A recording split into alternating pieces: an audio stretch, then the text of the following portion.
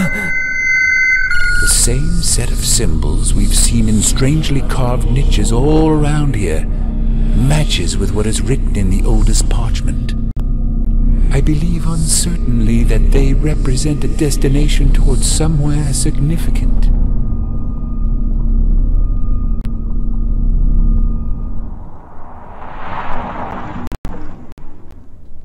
The symbol on this stone is illegible. There's no glyph on this stone.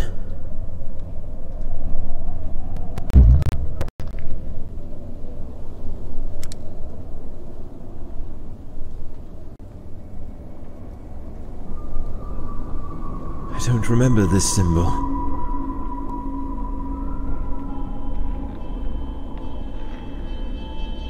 The symbol on this stone is illegible.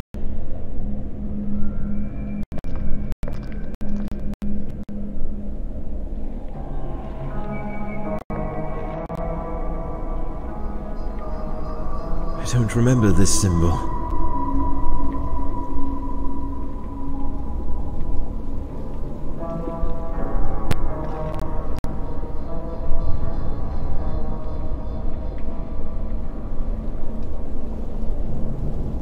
That glyph doesn't ring any bells.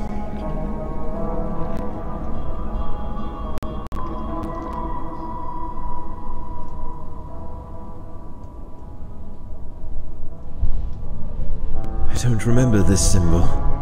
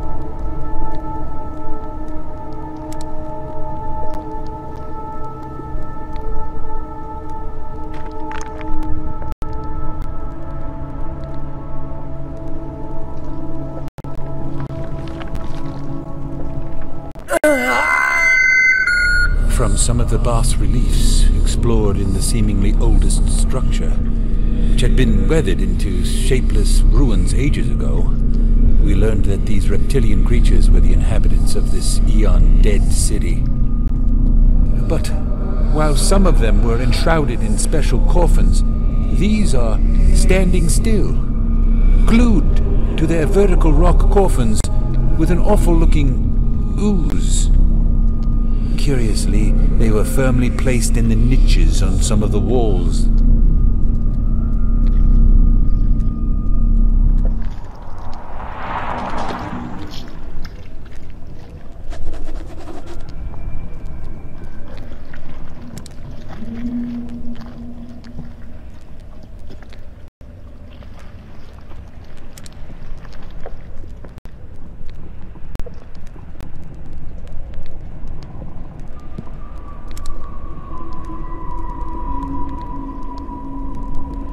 These ivy-like plants are blocking the way.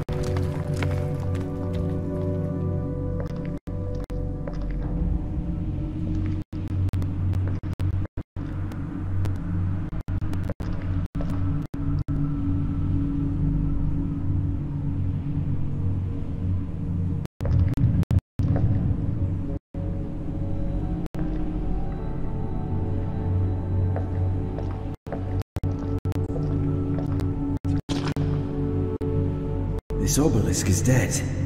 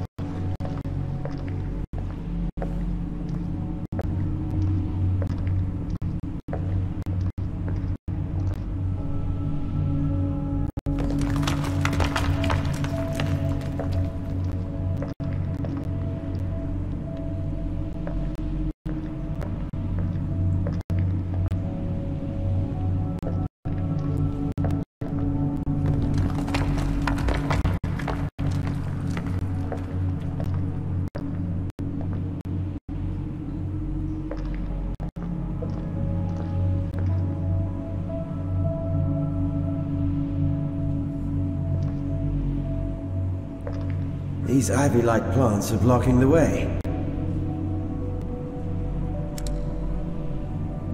The way ahead is blocked by this curious veg...